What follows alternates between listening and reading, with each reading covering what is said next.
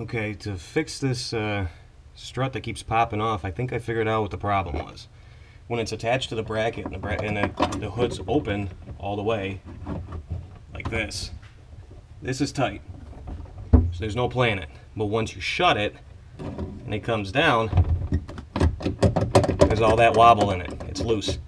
I gotta tighten that, and I put the strut back on, and I think that should solve my problem because the ball is in good shape and the clips are still good. So I'll give that a shot and see what happens. I think though that will fix my problem. So if you guys have something similar, give this a shot. See what happens. All you have to do is remove the clip that holds this on here to the the shaft on the hood. Remove that and uh, it'll slide down and you guys can tighten it with a lot easier than removing the hood.